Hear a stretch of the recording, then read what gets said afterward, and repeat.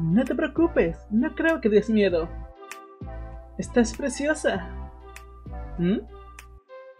Mija, ¿con quién estás hablando antes de tu habitación? Oh, estás hablando con Riley. ¿Riley? Sí, ella es mi amiga.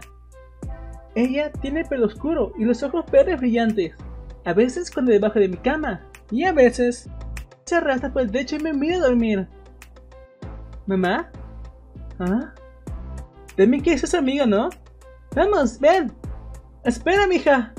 Mija, vuelve. Ella está aquí. Está bien, Riley. Es solo mi mamá. ¿Ah? ¿La ves? Hmm. Sí, la veo. Una amiga muy peculiar.